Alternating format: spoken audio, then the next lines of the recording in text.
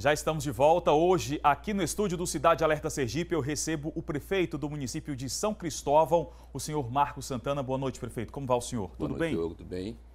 Como estão aí os preparativos para mudar a administração do município? Já que o senhor comentou para mim que a dívida é de quase 900 mil reais.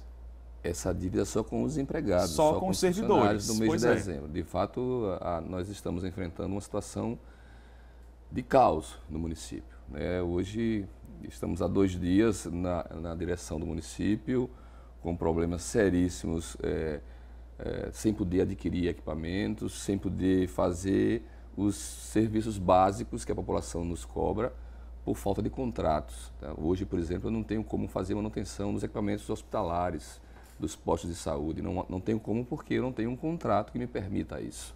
Então, há uma série de problemas. A parte significativa da população do centro histórico da cidade, o nosso município tem dois centros urbanos distintos, o centro histórico e o Grande Rosaelza, é, está, a parte dela está sem água há muitos dias. E nós estamos lá numa força-tarefa na tentativa de restabelecer o fornecimento de água lá no município. Por falar em água, a gente sabe que é um problema muito frequente, infelizmente, na cidade de São Cristóvão. É, no Lauro Rocha, na sede do município, nos povoados. E volta e meia a gente está visitando a cidade sempre para mostrar esse mesmo problema, falta d'água. Ou cai durante a madrugada, ou é dia sim e dia não.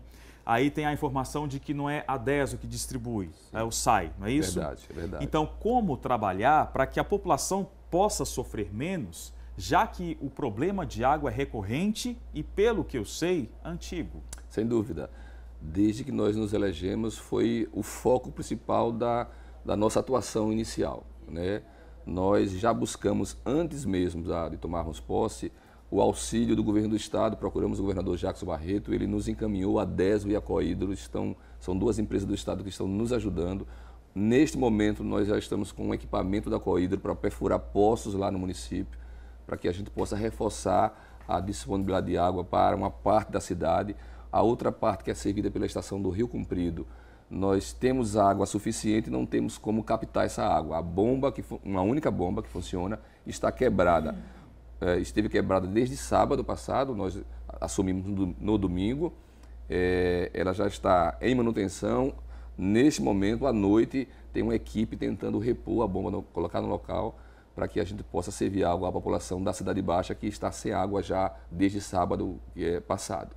Nos momentos de transição, alguns ex-prefeitos agora deixaram ah, algumas prefeituras do interior sergipano bagunçadas, documentos jogados no chão, muros quebrados. Inclusive, amanhã a gente vai trazer mais uma cidade com exclusividade aqui no Cidade Alerta Sergipe. Como foi que o senhor encontrou a prefeitura de São Cristóvão? Eu diria que ah, fisicamente não há, ah, talvez, como comparar a outras cidades. Eu não quero ser justo.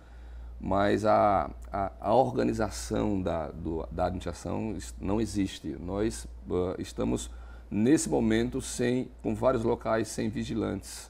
Nós não podemos ah, contratar mão de obra porque temos uma liminar que nos impede de fazer isso.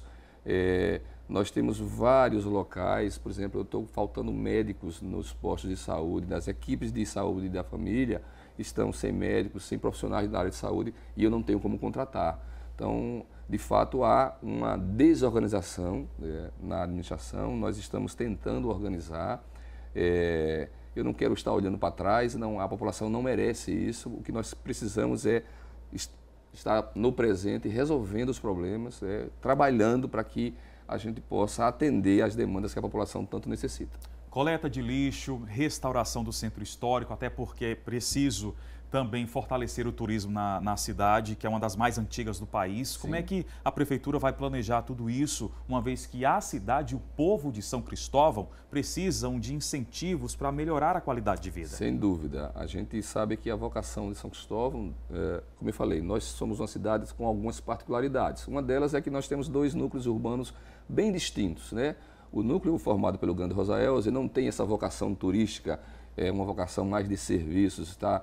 A sua população trabalha aqui em Aracaju, nós precisamos criar emprego naquela região para fixar a população no, no local onde mora, para até criar uma relação de mais afetividade com o município, criar uma relação socioeconômica com o município. No centro histórico, onde a vocação é uma vocação turística, onde a gente tem uma, a, a Praça São Francisco é patrimônio da humanidade, nós precisamos é, incentivar, inclusive, os moradores de lá, os pequenos empreendedores a investirem no turismo, estimulando a participação, a, a prefeitura fazendo a sua parte, atraindo turistas, cuidando da cidade, né, dando as mínimas condições para que o turista chegue e seja bem atendido, as condições de acessibilidade. Uh, nós temos uma rodovia que precisa ser, e aí nós precisamos contar com o governo do estado, precisa ser restaurada para que a possibilidade de acessibilidade à cidade e fazer com que o turismo é um, uma atividade que gera emprego e a gente tem que estimular a participação dos moradores local no, no investimento e atrair turistas para a cidade, sim. E a merenda escolar, que foi um grande problema na cidade? É, é, hoje eu atendi um turista, por acaso encontrei um turista de Ouro Preto na minha cidade, lá na Praça São Francisco. Tinha um grupo de quatro turistas, eles se lembraram e eu fiquei muito triste quando eles me, é, me perguntaram sobre merenda escolar. Eu acho que é uma página negra da nossa cidade e a gente precisa uh, entregar à polícia uh, a tarefa de uh, solucionar os problemas que aconteceram, punir a quem deve ser punido. O que eu lhe garanto e garanto a população de São Paulo sabe disso é que nós não teremos esse tipo de evento nos próximos quatro anos. Nós viemos para governar com decência, com honestidade, respeitando o dinheiro público. E sobre o salário dos servidores, vou voltar de novo a este assunto, porque é um assunto de interesse de grande parte da população, até porque muita gente trabalha na prefeitura ou para a prefeitura como a, o senhor está organizando para fazer esse pagamento? Existe uma previsão de atualizar, de pagar em dia o que está faltando? Veja, a, a, a repatriação criou uma, uma, um recurso extraordinário do dia 31 no valor de R$ 1 milhão 642 mil reais. Nós lamentamos que, não obstante ter sido criado essa possibilidade, além dos recursos normais do mês, a folha de pagamento ainda esteja uma parcela significativa em atraso, 872 mil reais. Nós não tivemos, não conseguimos ainda ter acesso a todas as informações de bancos, mas uma delas nos deixou muito preocupado. Hoje nós conseguimos sustar um pagamento de um cheque no valor de 100 mil reais, uh, nominal a uma pessoa física. Nós não identificamos ainda advindo de que esse pagamento, mas o fato é que é, conseguimos é, a, a sustação desse pagamento desse cheque e o que, se fosse pago, iria ainda piorar a situação. Eu só tenho, num dos bancos, o valor que eu tenho é, men é menos da metade do valor necessário para o pagamento dessa folha. Então, nós estamos, ah, nesse momento, é, nos preparando até do ponto de vista jurídico, né, para ter acesso às informações bancárias. Nós tomamos posse no domingo, então encaminhamos ontem e hoje ah, os documentos necessários, termo de posse, ata de posse. Os bancos precisam disso para passar informações para a gente.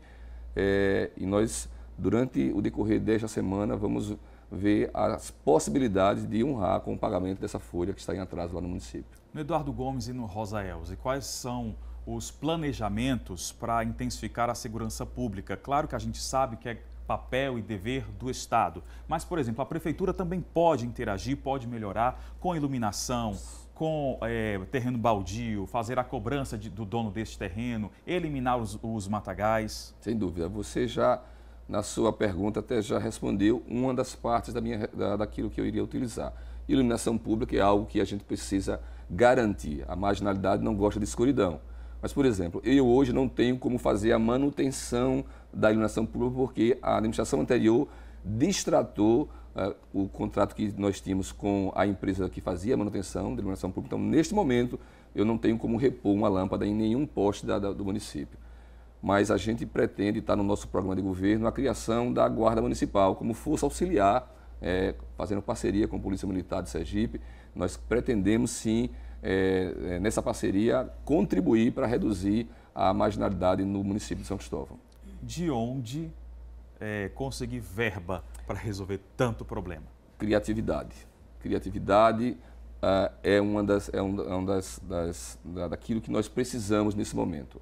É, uma outra esperança, uma outra expectativa que eu tenho certeza que a gente vai fazer com que uh, uh, haja recurso suficiente para investimento e para as necessidades do município, é que nós vamos agir de forma austera, de forma responsável, sem roubar nem deixar roubar. Então, a gente desta forma a gente entende que teremos sim, é claro, que buscar novos recursos. Por exemplo, nós precisamos atrair empresas para a cidade, para o município de São Cristóvão. Nós temos a BR-101, que é um local onde as empresas costumam é, se implantar, se instalar, é, passar em São Cristóvão por 10 quilômetros. Não tem uma única empresa instalada. Nós precisamos contar com o apoio do governo do estado na criação é, de um distrito industrial na BR-101 lá no município.